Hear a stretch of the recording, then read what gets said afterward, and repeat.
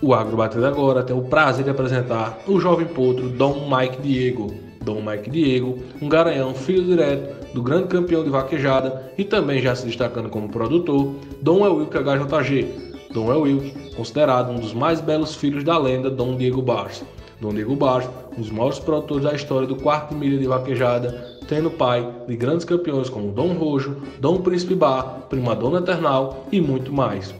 Vale salientar que a mãe de Dom Elwilk é uma filha direta de Elwilk Apolo, um garanhão, filho direto de Elzorreiro, cobrindo uma égua cheia de Apolo e Bar. Além de genética, Dom Elwilk tem uma beleza espetacular e uma campanha considerável, sendo assim, ele já se destaca como um grande produtor da linhagem do Dom Diego Barros. Seus primeiros filhos já mostram grande aptidão e têm uma excelente busca no mercado.